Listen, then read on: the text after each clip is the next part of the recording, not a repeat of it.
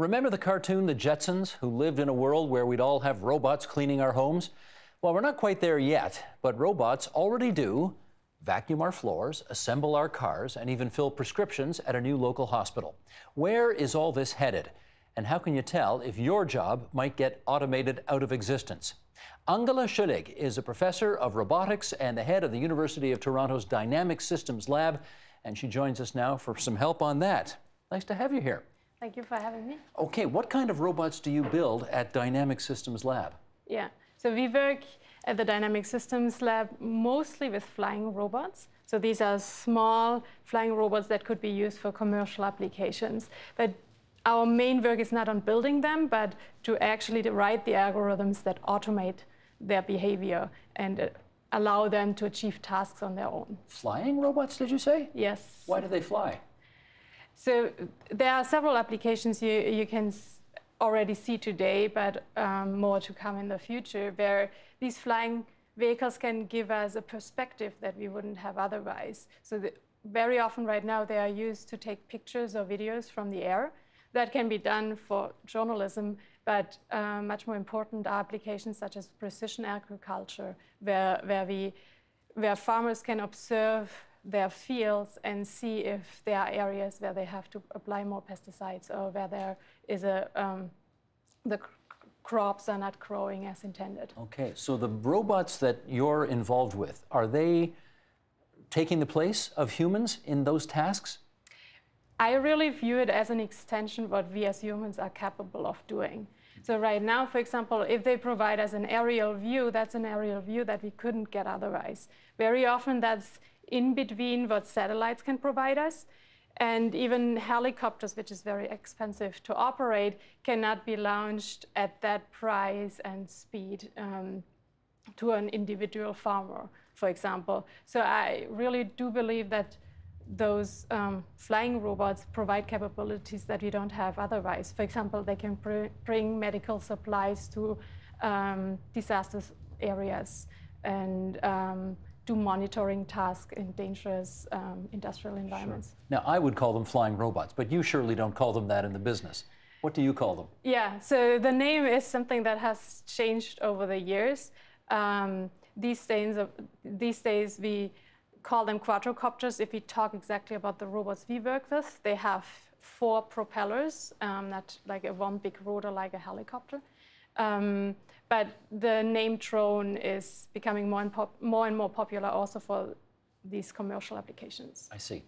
Just take us back into history a little bit. At what point did robots start to uh, take over the jobs that people were doing up until then? Yeah, so there, the, you have to talk about robots or machines.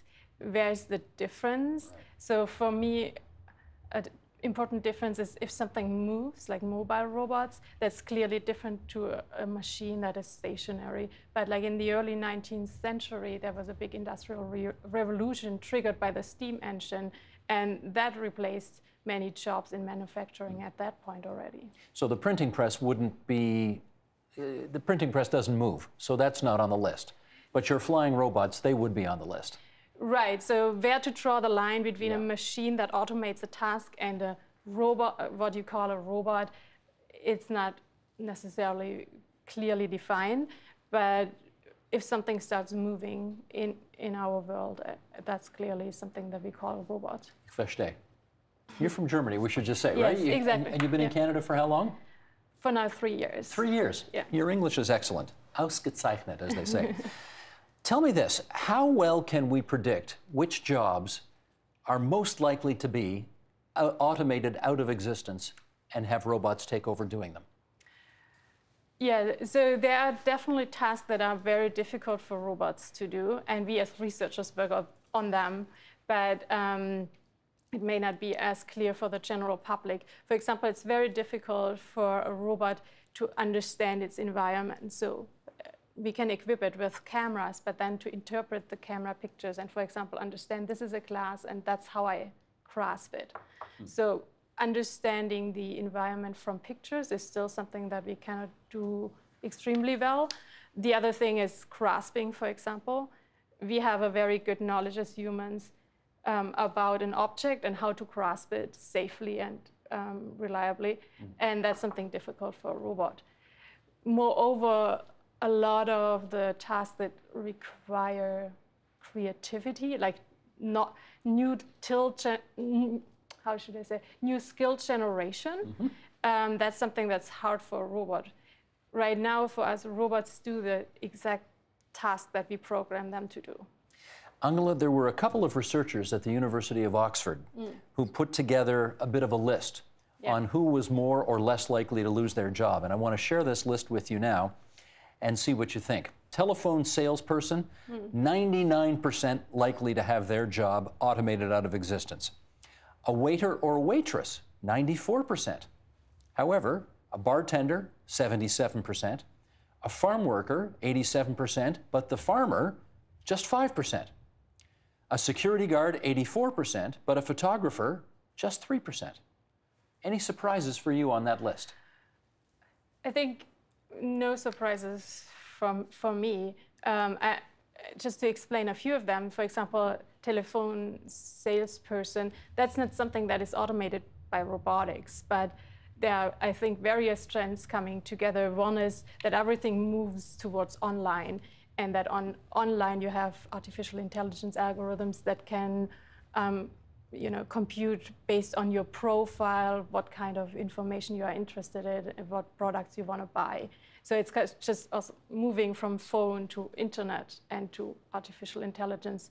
And then I think something that is a bit obvious in these numbers is ultimately the human has the responsibility. So there's no robot that runs the full farm, like making high-level decisions on which crops to plant, um, how to plan, how to interpret interpret like unknown situations, that's still something that that the human needs to do. Mm-hmm. But the repetitive task of, let's say, going through the crops and doing some kind of m- maintenance, that's something that a robot can can do. So we're still not at the point where you trust a robot to take that glass and put it up to your lips and have you take a drink of water, but we're already seeing some jobs that are being replaced on a massive scale bank machines, for example, right? Bank machines have overwhelmingly replaced uh, many of the tasks that tellers used to do.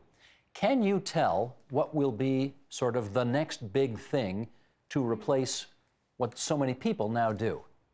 Right. So let me focus again on robotics and not so much on right, computation and artificial yes. intelligence. So for robotics, still robots operate best if the environment is predictable and known. And so there are many more tasks in manufacturing that robots still can take over. Um, where currently humans are required because it's difficult tasks and require our kind of grasping and um, manual skills. Um, then another one that I would like to personally see is autonomous driving. Uh, there's a huge push right now. It's, uh, it's a very recent trend. All the main um, car manufacturers are working mm-hmm. towards that goal. And I do think that it can provide us with ultimately safer roads. So. Do you have any nervousness at all about being in a car that is driven by a machine? Um, actually, that I think no, no. I, I, I do think these machines have to um, have the capability to understand when they don't cannot handle the situation mm-hmm. and then tell the driver but ultimately this uh, the machine can see better we can put much more sensors around the car that uh, enables and situational awareness that's much better than what a human can have it has a faster reaction time it doesn't get tired um, so it I do think it doesn't yell at the children in the back seat. It doesn't have its eyes on the radio changing the station. So right. I do think that um, you know, it would save us a lot of time if that could be automated. Now, as I look around this studio, there are pictures and paintings mm-hmm. on the walls.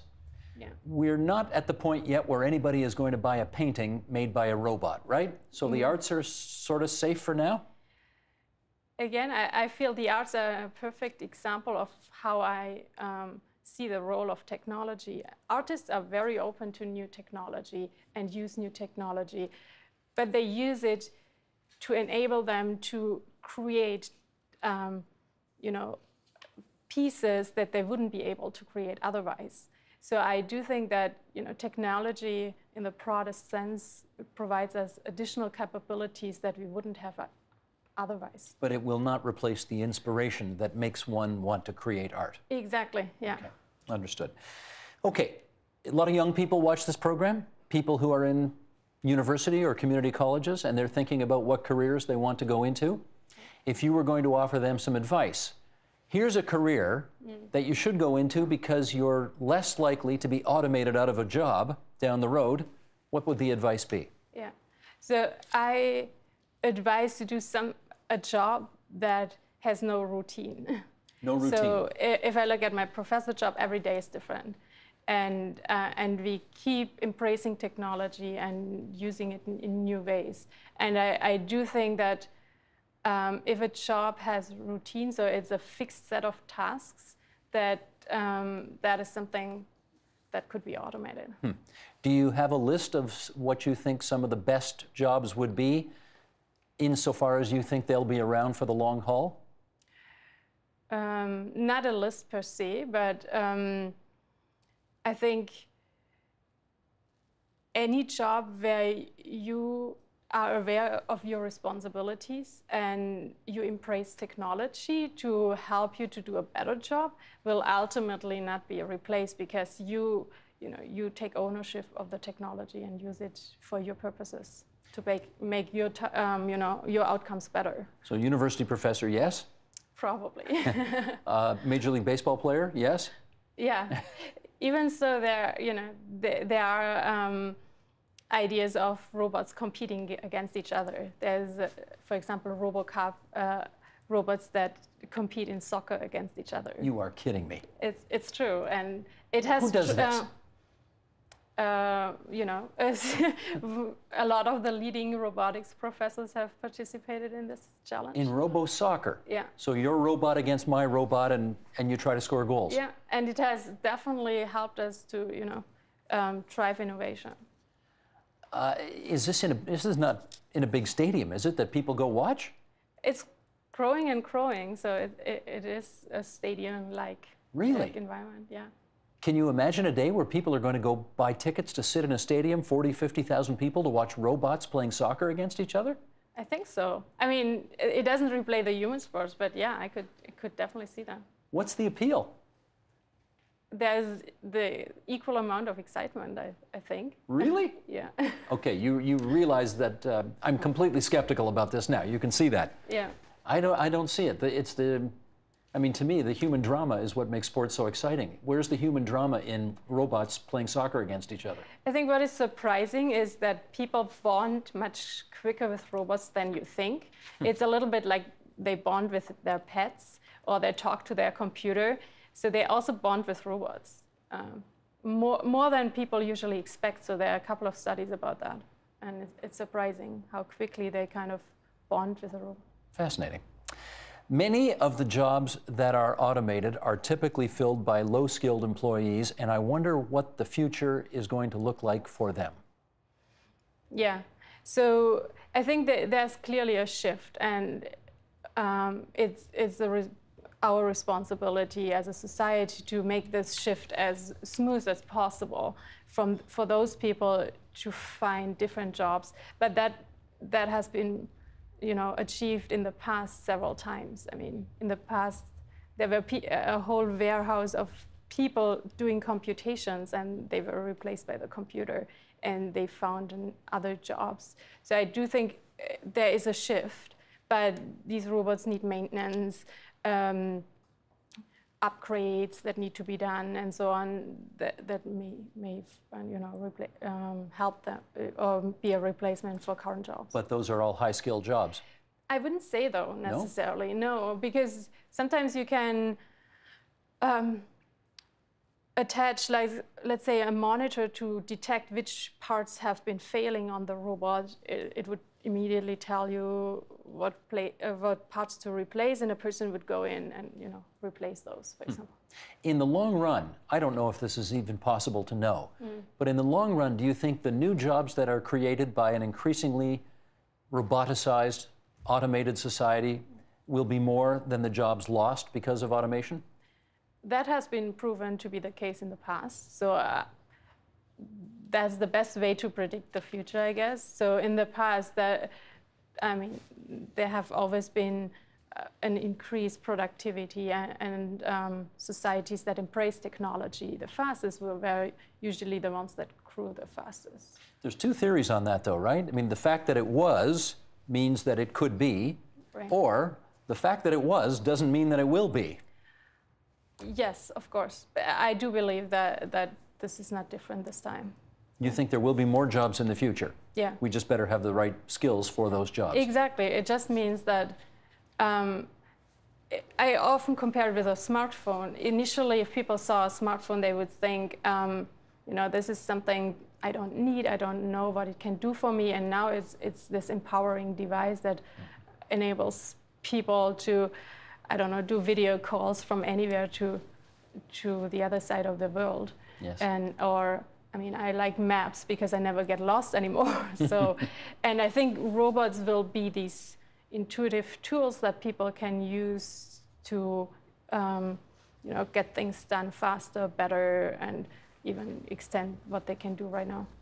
Angela, I'm going to read you a quote. This is from Moshe Vardi, a professor at Rice University in Texas, who said, We are approaching the time when machines will be able to outperform humans at almost any task. Society needs to confront this question before it is upon us. If machines are capable of doing almost any work humans can do, what will humans do? That's a great question. How do you answer it? Mm-hmm.